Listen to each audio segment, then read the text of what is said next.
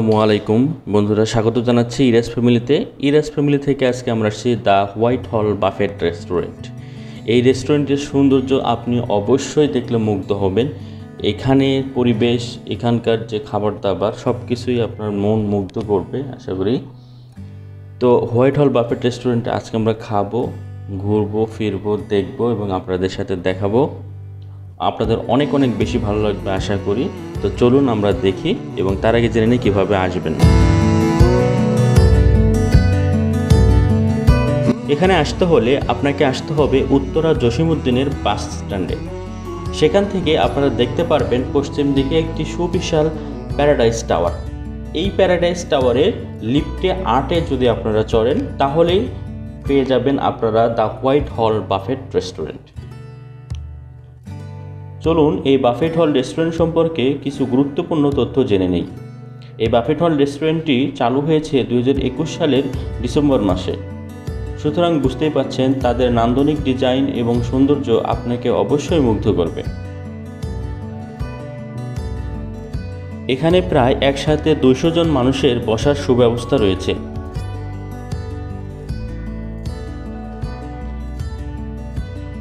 এই রেস্টুরেন্টটিতে buffet lunch এবং বাফেট ডিনারের ব্যবস্থা করা হয়।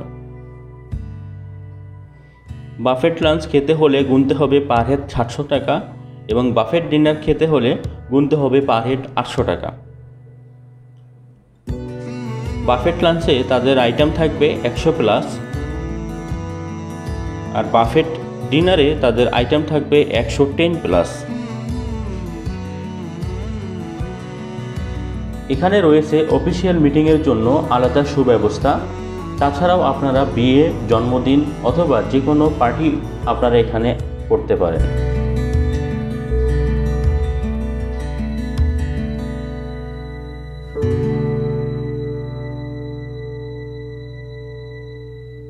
সেলফি প্রেমীদের জন্য রয়েছে বিশাল সুব্যবস্থা। সেলফি প্রেমীরা এই রেস্টুরেন্টের যে কোনো জায়গায় দাঁড়িয়ে তুলতে পারবেন মনের মতো ছবি। কারণ এই রেস্টুরেন্টটি সাজগোজ এবং ডেকোরেশন তৈরি করা হয়েছে সবই অত্যাধুনিক মানের। এই রেস্টুরেন্টের মূল আকর্ষণের মধ্যে রয়েছে তাদের কৃত্রিম পানির ফোয়ারা, যেখানে গেলে অবশ্যই আপনি একটি হলেও ছবি তুলে আসবেন। সো বন্ধুরা, এই হোয়াইট হল বাফেট রেস্টুরেন্টে কি কি আইটেম আছে এবং খাবারের মান কেমন, এগুলো আপনাদের সাথে আজকে আমরা তুলে ধরবো। তাহলে চলুন দেখি কি কি আইটেম আছে। এখানে দেখুন একটি বিরিয়ানি আইটেম রয়েছে। বিরিয়ানিটির কালারটা অনেক সুন্দর এবং অনেক ঝরঝরে, আর মাংসের পরিমাণে কিন্তু এখানে যথেষ্ট তারা দিয়েছে। এরপরে আছে এগ ফ্রাইড রাইস বা ভেজিটেবল ফ্রাইড রাইস যেটাকে বলা হয় সেটা। দুইটারই কালার অনেক সুন্দর। এরপরে পরবর্তীতে আমরা দেখব এখানে দুই ধরনের ভেজিটেবল আছে যেটাকে আমরা অনেক সময় বলে থাকি যে চাইনিজ ভেজিটেবল আরেকটি এখানে আছে মানে সালাদ আইটেমের ভেজিটেবল আপনারা এখানে দেখতে পাচ্ছেন। আর এখানে আছে চাউমিন বা নুডলস আর এখানে আছে chicken mushroom chicken ginger with mushroom এটার কালারটাও অনেক সুন্দর এবং অনেক জুসি লাগছে দেখতে। তার পরবর্তীতে আছে মঙ্গোলিয়ান চিকেন এই মঙ্গোলিয়ান চিকেনের কালারটা কিন্তু খুবই অস্থির এবং একদম রেড।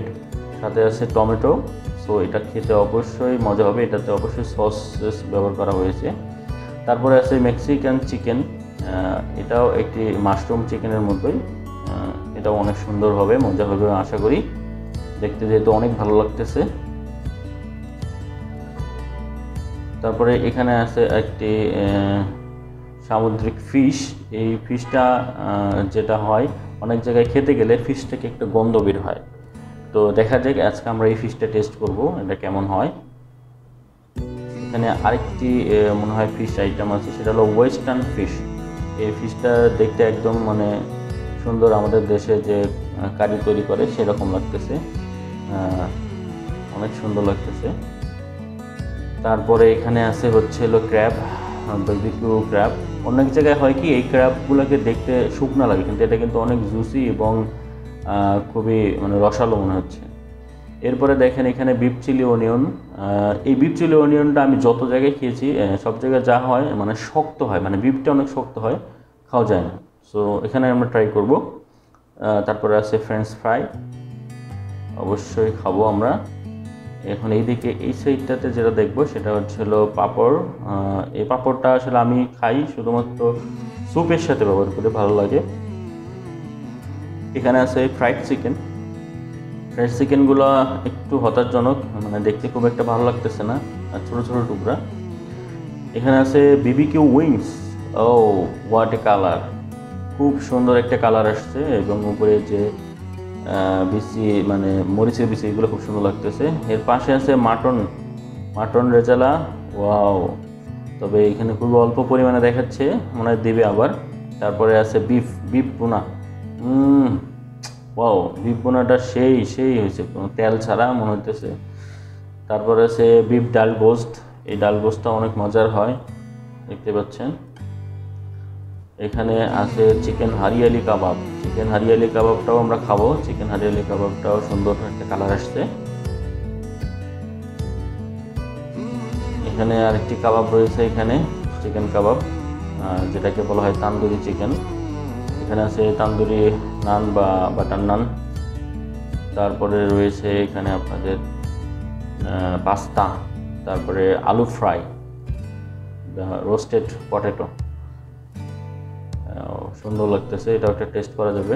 নতুন একটা আইটেম দেখলাম এটা। তারপরে রয়েছে বাটার ফ্রাই ডাল বা যে কি বলে মুনা ডাল যেটা। এখানে রয়েছে প্লেন রাইস তার একদম এই সাইডটাতে আমরা এখন দেখব। এই সাইডটাতে যেটা রয়েছে এখানে রয়েছে স্যুপ এটা হলো কর্ন স্যুপ কর্ন স্যুপটা আমার কাছে খুবই ভালো লাগে এবং আমি যেখানে যাই, এই কনসেপ্টটা অবশ্যই টেস্ট করার চেষ্টা করি এবং টেক্সচারটা অনেক ভালো লাগতেছে। এখানে আছে কিছু? নেই আর। এরপরে এই সাইডটাতে আছে সালাদের আইটেম সালাদের আইটেমগুলো সাধারণত অনেক জায়গায় কম থাকে। এখানে ওনারা যথেষ্ট পরিমাণে সালাদের দিয়েছেন। এখানে দেখেন অনেক ধরনের সস আইটেম রয়েছে। তারপরে এরপরে দেখেন এখানে রয়েছে সালাদ। এখানে রয়েছে স্প্রিং পাস্তা। তারপরে দেশি mixed salad.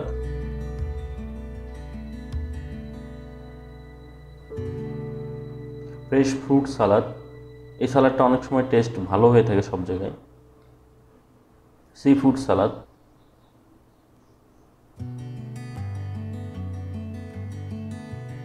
এখানে আরও অনেক ধরনের সালাদের আইটেম রয়েছে এখানে র ভেজিটেবলস রয়েছে green salad fish salad yogurt salad sorry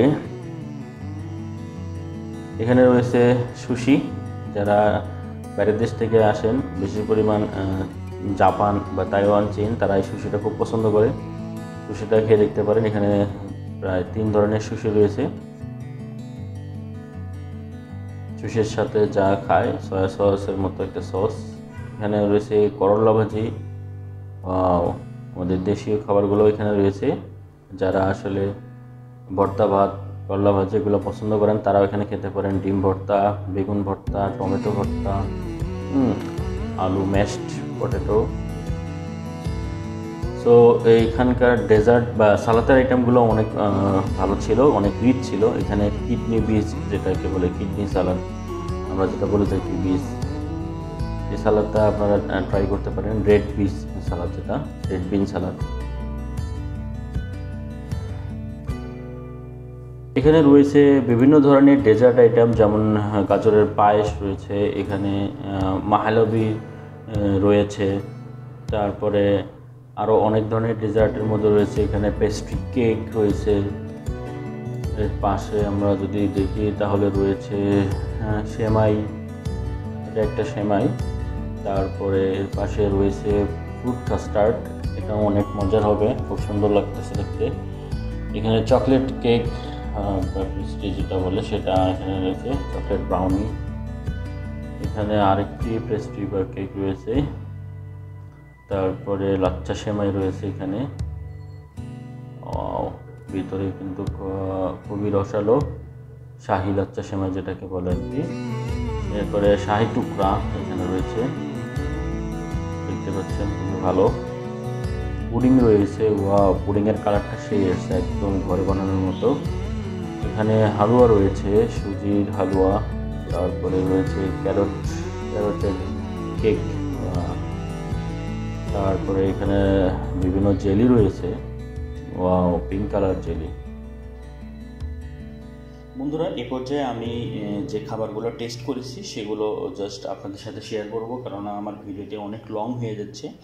এই খাবারগুলোকে আমি কয়েকটি ভাগে ভাগ করেছিলাম। প্রাথমিকভাবে আমি যে ভারী খাবার যেমন গরুর মাংসের যে আইটেমগুলো ছিল সেগুলো আমি খাইছি। গরুর মাংসের আইটেমের মধ্যে আমি খেয়েছি হচ্ছিল মানে গরুর মাংস হচ্ছে রেজালা, গরুর মাংস, কষা সেটা, তারপরে হলো খাসির মাংস, খাসির রেজালা বা খাসির মাংস।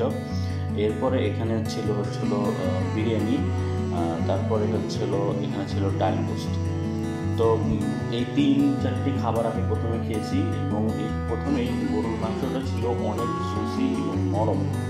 এবং গরুর মাংসের স্বাদ আপনি কোনোভাবেই কম পাবেন না এখানে। আমি যদি আপনাদের ভাগ্যে থেকে থাকে তারপরে খাসির মাংসটাও ছিল অসাধারণ এবং এখানে যে রান্নার প্রসেস মানে রান্নাটা খুব সুন্দরভাবে হয়েছে। বিশেষ করে মশলা বা যে টেস্ট এগুলো সব পারফেক্ট ছিল আমার কাছে।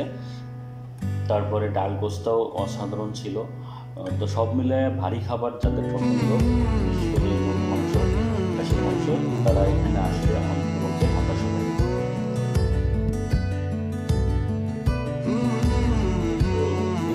এবার আমরা এখানে এসেছি প্রথমে দেখাচ্ছি আপনাদেরকে এখানে নিয়ে এসেছি। এরপরে আছে এখানে থাই স্যুপ থাই স্যুপটা অনেক সুন্দর কালার দেখেন। সো আপনাদের সাথে এই খাবারগুলো এখন শেয়ার করব এবং টেস্ট কেমন সেটা জানাব। এখন দেখেন আমাদের সাথে আমাদের যে অফিস কলিগরা আছে এখানে আমাদের রাফি ভাই আছে আরও অন্যান্য সকল কলিগরা এখানে খাচ্ছেন। আমি আপনাদের জন্য আলাদা করে ভিডিওটা বানানো বানানোর চেষ্টা করতেছিলাম। সো যাই হোক, এখন আমি আপনাদের সামনে একটু খেয়ে টেস্ট করে জানাব ওই লাইট খাবারগুলো কেমন ছিল এবং কেমন হয়। সো লাইট খাবার মধ্যে প্রথমে একটু পাপন আমি দিলাম। সো এটা অসাধারণ লেগেছে আমার কাছে এই খাবারটা যে কর্ন স্যুপটা এবং থাই স্যুপটা যেটা ছিল, থাই স্যুপটা অসাধারণ ছিল এবং এটার টেস্ট কোনোভাবেই কম ছিল না এবং খুবই ভালো ঘনত্ব এবং গাঢ় ছিল। যদিও আমি এখানে চিংড়ি খাইনি তারপরে আমি এখানে স্যুপটা ট্রাই করতে পারেন এবং খুবই অসাধারণ ছিল।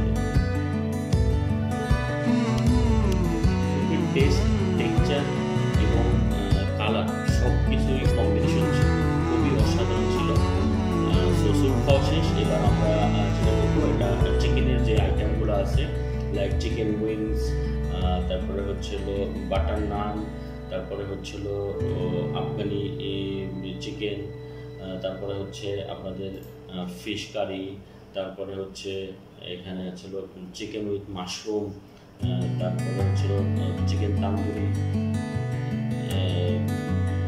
এই সকল জিনিস সবগুলো আমি নিয়ে টেস্ট করেছি। এই সবগুলো খাবারই আসলে দেখতেও যেমন লোভনীয় এবং অসাধারণ টেস্টেও ছিল। তাদের খাবারের কোনো খাবারই আমি বলব যে টেস্ট লেস এমন কোনো খাবার ছিল না। প্রত্যেকটি খাবারের মধ্যেই যথেষ্ট মানসম্মত টেস্ট ছিল এবং দেখতেও ভালো ছিল এবং খুবই আমার কাছে হাইজেনিক মনে হয়েছে। পরিবেশের সাথে সো আপনারা আসলে এখানে এই কোনোভাবেই হতাশ হবেন না, আশা করি একটা ভালো ফিডব্যাক পাবেন। তো যাই হোক, আমাদের খাবারের পালা শেষ। এরপরে যেটা হলো, যেহেতু আমরা অফিস থেকে এসেছিলাম, অফিসে আমাদের সকল এমপ্লয়ীদেরকে নিয়ে একটি মজার গেম খেলা হয়, যেখানে হচ্ছিল একটি কাগজের টুকরো।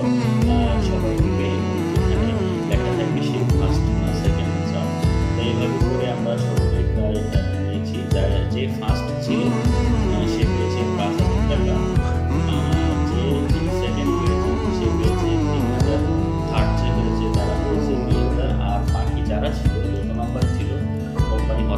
যে সবাইকে আসলে এক হাজার করে দিয়েছে।